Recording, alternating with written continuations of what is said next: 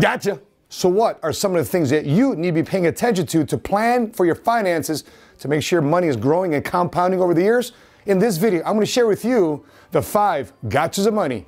Starting in three, two, one. Let's go.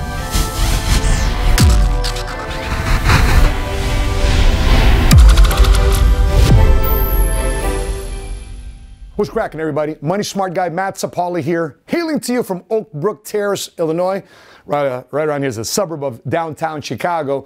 And uh, this episode is actually our first series of Vlogmas. We're actually doing this here in the month of December of 2020. We're committing to 24 videos to do three things. Number one, to increase your financial literacy.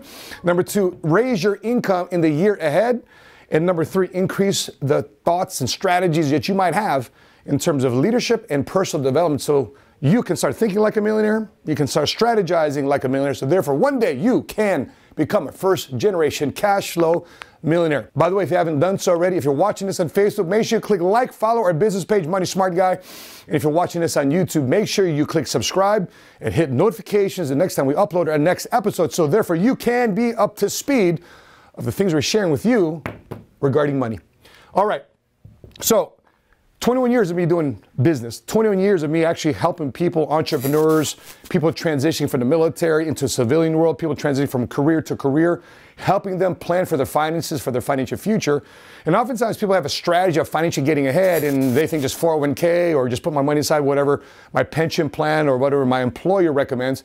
But that's just part of the game. That's just part of the conversation you know, in helping people understand how to avoid the pitfalls of the ups and downs of the stock market, ups and downs of what goes on in the world because we are living in a global economy, the pitfalls of just life and the emergency that happen when our health changes or we have kids and we have a family.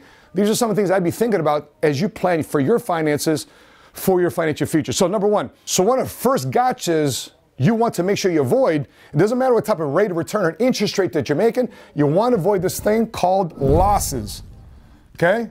Losses. You don't want to lose. I think the Oracle of Omaha, Warren Buffett, said the first rule of saving your money, putting money away, investing money is do not lose money. That's rule number one. You know what the second rule is? Don't forget rule number one. So when you're making money, making money, making money, don't lose money. Your job is to make money. Your money's job is to make more money and find more friends to surround itself and not to lose. You know, oftentimes people try to chase for the high rate of return, the high interest rate, the high, you know, speculative type of investment. I'm going to get a 20% rate of return, 30% rate of return, 10% return, 50%, whatever. Just make sure you don't lose. So, however, you're planning for your finances, ask the person that's trying to pitch you on, hey, put your money here, put your money in this real estate, put your money in this Bitcoin, put your money in this Forex, put your money in this insurance, put your money in this stocks, bonds, mutual funds. Ask them one question Can I avoid losses? Because if you have a negative return, Okay, let's say you have a 10% negative return in one year. You need a 12% positive gain just to get back to your square one. So in other words, if you had $100,000, right, and you lost 10%, you're back down to 90. People think if I just get a positive 10%, my 90,000 will get back to 100,000. Wrong you actually have your 90,000 earn $9,000 and you're at $99,000. You just you need more than just a 10% return. You need a 12% return just to get back to you to the original $100,000 and above. And the worst part about this, you, what you lost in this scenario, you lost time. So the biggest thing about loss is not necessarily just the amount of interest that you lost or the principal of the previous year's gains that you lost in this particular savings or investment that you're doing, but also you're also wanting to make sure that you don't ask your money to be excessive and be aggressive to potentially lose money in a speculative or risk, more than normal riskier type of investment. Don't take unnecessary risks. But if you make sure you have your money constantly growing, growing, growing, you want to make sure you avoid the pitfalls of losses. The second thing you want to plan for, which is what H stands for. Number one, gotcha's losses. Second gotcha is healthcare or change in health. Okay? The expenses. For example, the guy that built my website, Dustin, he built my website, and he was reading my website, he's watching my videos. And he says, Matt, I think I need to be your customer this time. I said, What are you talking about? I've been watching your videos, listening to your financial conversations, listening to the power of insurance. He says, I'm from Trinidad and Tobago. I have four kids. I have two people that I'm responsible in terms of uh, I employ them. And I have no life insurance. I have no coverage. So no problem. He, he gets a conversation with one of our agents about life insurance, about healthcare expenses, and he purchases a policy which has what they call living benefits. And would you believe it? We never thought in a million years that at 38 years old, after 14 months, 16 months after this transaction took place, he, at 38 years old, has a stroke. Okay, now with that being said, medical insurance, medical insurance took care of the airlift, emergency airlift, the 911, took care of the, uh, the, the healthcare costs, took care of the, um, the, the stroke rehab. So thank goodness for medical or healthcare insurance, but didn't care for the expenses as a change in health in terms of the daily bills. So in other words, health insurance takes care of the medical expenses, but what pays your rent? What pays for your kids' college expenses and tuition? What pays for food? What pays for the lights? What pays for your normal expenses of your household budget? Well, you want to make sure you have something set aside, whether a bucket of money or here, or you have some form of insurance policy that has insurance living benefits to make sure you take care of a health care in case your health were to change, where health insurance will take care of your medical expenses, but potentially you might be exposed here because more people today file bankruptcy than any other year file bankruptcy because of whopping and accelerating and piling up healthcare costs. Big reason why people file bankruptcy. Emergency room, medical expenses, medical treatment, all these different things outside of what health insurance covers, outside of that, boom, piles up on people. And you want to be able to make sure you don't come back from a change in health and you're dealing with cancer, you're dealing with recovering from a heart attack, you're dealing with uh, uh, uh being uh, hit in an intersection, uh, a T-boned, uh, uh, you can't get back to work. You want to make sure you have a policy or money set aside to pay for the bills, to take care of your expenses when you're dealing with your quality of recovery. Because if you are thinking about money, you're thinking about recovery, you're thinking about your body, and you get the pressure and stress about paying your bills too as well, it slows down your quality of life and slows down essentially your health care. It slows down your ability to recover positively uh, without a lot of stress on your mind. So think about it. If you were my friend Dustin and he went through a stroke, thank goodness he had a multiple six figure income check from the life insurance company to provide for his lifestyle, his quality of life from recovering from a stroke above and beyond what healthcare expenses. Otherwise, he would have had to drain his retirement savings to pay for those at the age of 38 years old. And imagine if it took him 10 years to recover getting back into losses, what he needed to save for retirement, he needed another higher rate of return to recoup the money that was supposed to be there, but that money now, instead of being allocated for retirement planning, is allocated now in his 30s and 40s to allow him to sustain his quality of life of raising four kids, a wife, business responsibilities, etc. That's why another bucket of money or a proper insurance policy with living benefits is essential to make sure you avoid this gotcha of money. Third gotcha of money. Here is taxation taxation. So, with a Biden presidency, what can we all expect? Well, Matt, you know, we're just going to tax the wealthy people that are making over $400,000 because that's what Biden said. Correct. He's going to install a tax package that potentially may increase the taxes on people making $400,000 or more as promises his campaign when you voted him to be the president. But on the flip side, you know what he also said? Here's what he also said. I'm going to also eliminate all the Trump cuts that were installed when President Trump was in office. So, do you know what that means for the majority of people in the working class and the middle class? Guess what? Your tax are going to go to up.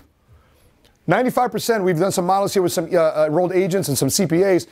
And for some of their tax base, I've just walked in some of the simulations they've been doing. 95% of all the clientele are going to be increasing what they pay in income taxes if the Trump Cuts Act is eliminated. We got an interesting conversation here with a financial expert coming up here during this Vlogmas uh, here in the next week or so of a conversation we had with Curtis Cloak, who for 30 plus years has been helping clients from coast to coast with their finances, with their retirement plan to retire and never go back to a job again. And he's projecting a lot of people, a lot of his clients, because they have this software, this proprietary technology, software, a lot of his clients, if the Trump cuts are eliminated, most everybody in the, in the middle class of his clients are going to pay a little bit more in income taxes. So expect taxation to go up. Plus, on top of it, you got to understand that taxes, for the most part, overall, has been at one of the lowest rates it's been historically speaking. So, with potentially this happening, with uh, a student loan debt being paid by the government, with stimulus checks being paid for by the government, with health care being paid for by the government, guess where you think taxes are going to be going in the future? Lower? The same? Or higher? I want to know your answer in the questions in the comment section below to the question where do you think income taxes are going to go in the future? Lower, the same, or higher? Where do you think? Well, a lot of people bet, drum roll please, higher. So if you're saving for your retirement, you're saving for your retirement, and you're now going to start withdrawing that money. So it's tax free when it's growing, right? Because it's tax deferred. And otherwise, where you're growing your money, your pension, you're growing your money inside your 401k, your TSP, your 403b, or your 457 deferred comp plan, your thrift savings plan, you're working for the federal government. It's tax, it's growing. There's no taxes on it when it's growing because it's tax deferred. But when you withdraw that money for income, guess what you then pay? Taxes. And everything that you pull out of that thing is exposed to taxation. And if we're potentially, if you believe that we're going to be in position of being in a higher income tax bracket in the future down the road, you might be whacked in taxes. So whatever you're pulling, let's say you need $100,000, you might have to pull out $150,000 to pay the taxes of $50,000 just to net $100,000. And some of conversation people are having So, well, Matt, in the future, my house is going to be paid off. Uh, my kids are at the house. Um, blah, blah, blah, blah, blah, blah. I'll be in a lower income tax bracket. I'll be making less money. Uh, I'll, be, I'll be on Social Security, hopefully. I'll be on 401k. I'll be on a pension. I'll be traveling less. I'll be going to grocery store less. I don't have anybody to feed and, and, and to upkeep. I got myself. I just want to let you know, for most people that are retired, that's a myth. You know why? Back to here. Lots of them now require a little bit more money for health care. And they didn't plan for this gotcha. Now they got to pull money out of their retirement to supplement the quality of life they didn't want.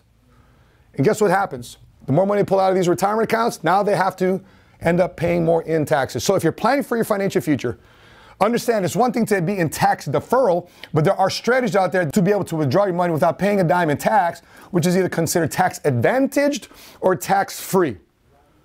In a future episode, I'm going to be breaking down the five gotchas of money of where you can find this. So make sure you stay posted. But I'm just going over an overarching financial literacy 101 without getting too much in depth. So I'll make sure I explain it in a future video. So make sure you subscribe to our YouTube channel, The Seven Figure Squad. Next one, next gotcha. So we got losses, gotcha. Healthcare, gotcha. Taxation, gotcha. What's I? Inflation. Inflation. So here's the thing with inflation. If you were to look at 1990, you guys remember the 90s? What the cost of a house was, car, raising kids? What was the cost of raising kids? Let's show a quick graph here. What it cost for living in 1990, what the cost of these things were. You see the cost? Okay, let's fast forward to 2019. You see the cost now? Boom! Things exploded, didn't they? From 1990 to 2019, things have increased. The cost of goods and services, the cost of living have increased over 300%.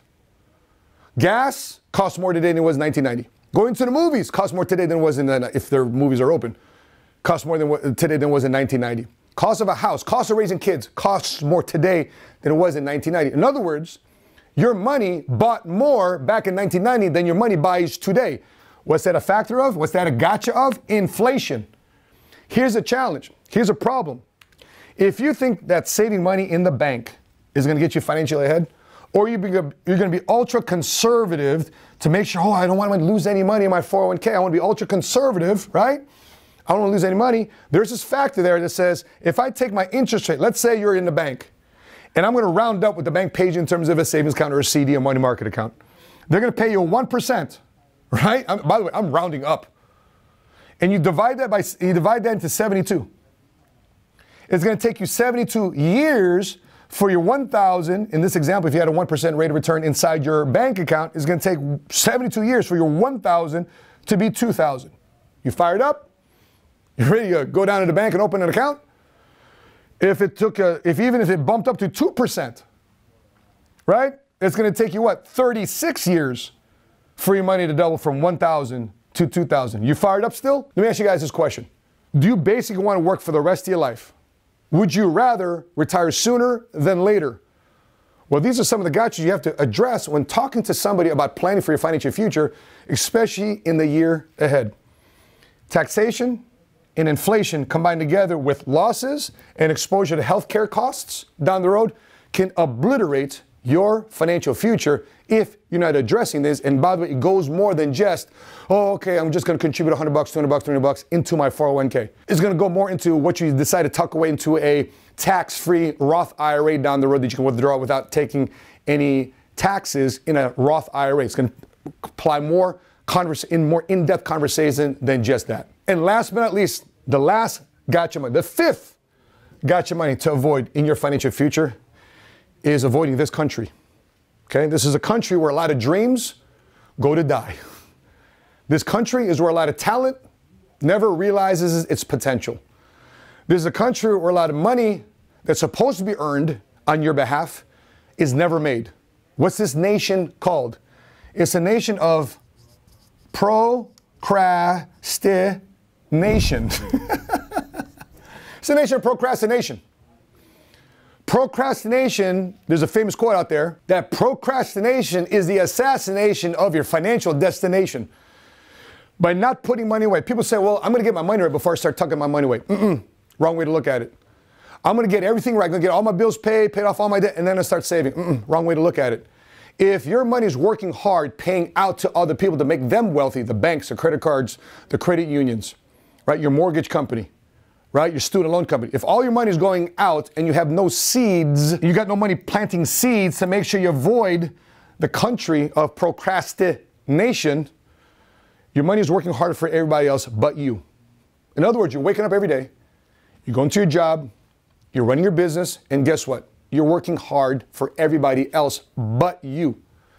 So if you ever say, man, I want to be a first generation cash flow millionaire one day, I just want to be financially free and financially independent, guess what you have to do? What you have to do? Both your time and money has to be working for you more than everybody else. How do you do that? Avoid the five gotchas of money. Avoiding losses, avoiding unnecessary additional healthcare costs, avoiding taxation, inflation, and avoiding coming to this destination and getting your passport stamped where you enter the land of procrastination. You don't want to go there. So, my suggestion to you is if you want the following year to be the greatest prosperous year ahead, you got to get the ball moving. You got to get the money flowing. You got to get your money saved and invested and put away, tucked away. So, whoever manages your finances, you got to make sure you address all these. Hey, listen, the person helping me with my financial education, financial literacy, so therefore I can make a smart, educated decision of where I place my finances. By the way, I just want to let you guys know I'm not giving financial or investment advice. That's not my job. I'm purely educating you what type of deeper conversation you need to have with somebody that's helping you plan for your financial future. So, as I wrap up, guys, uh, a couple things I want you to know. Uh, number one, we're doing this is an inspiration to a Vlogmas where every day we're putting up a vlog, 1st to the 24th of December, to honor the holiday season, the holiday to Christmas season. So every day we're putting up some form of episode to be not only entertaining, hopefully, but also to be helpful when you're planning for your financial future. So if you're also watching my YouTube channel, other different videos, here's a video I want to encourage you to watch. And uh, I got a com- I got a comment contest, and uh, my mentor released a book called Your Next Five Moves. It's a Wall Street Journal best-selling book. It's uh, actually helped me make $6 million over five and a half years. But I want to give you his book if you follow this content. So watch this video called Assets versus Liabilities. The name of the video is right here. I want you to go search this video, click the link or the links below or the link in the description, watch this video. And if you answer this question, we're going to send you a free book. The first three people that do it, the first three people that drop a comment, they're going to get a book from me to you who answers this question. What trip did I take in the world to create it a tax deductible trip? What trip did it take across the world to make it a tax deductible trip? Drop your comments below when you watch this video, assets versus liabilities. And the first three people that respond are going to get a book shipped from me to whatever address you want me to send it to as a thank you and a Merry Christmas, a Happy Holiday from the Seven Figure Squad for those of you participating in this contest. So hopefully you become one of the first people out the gate to claim and win your free book. So that being said, guys, uh, if you haven't done so already, if you're watching this on Facebook, make sure you drop your comments below. I would love to know what you're thinking. Uh, let me know about the five gotchas of money. Were you getting caught up in some of the five gotchas of money throughout your your your your your, your working life, your business life, your your dealing with your 401k? Uh, if you're watching this on uh, YouTube, make sure you also subscribe to our channel, hit notifications the next time we upload our next episode, and drop your comments below. Let me know also, did you ever get caught up in one of these gotchas? I know 08, 09, the Great Recession, a lot of people got caught up in these different areas. And 10, not only 10 years was lost, but a lot of cash and capital was lost. And my goal here is to help you avoid a lot of worry, a lot of anxiety, avoid a lot of financial depression, uh, a lot of bad mistakes that a lot of people have made that I've witnessed firsthand.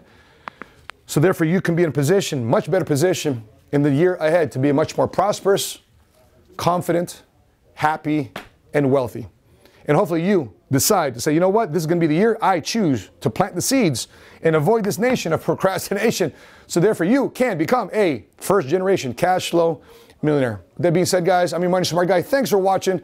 And until we meet again, continue to live smart, continue love smart, and be money smart today. Gotcha. See you tomorrow.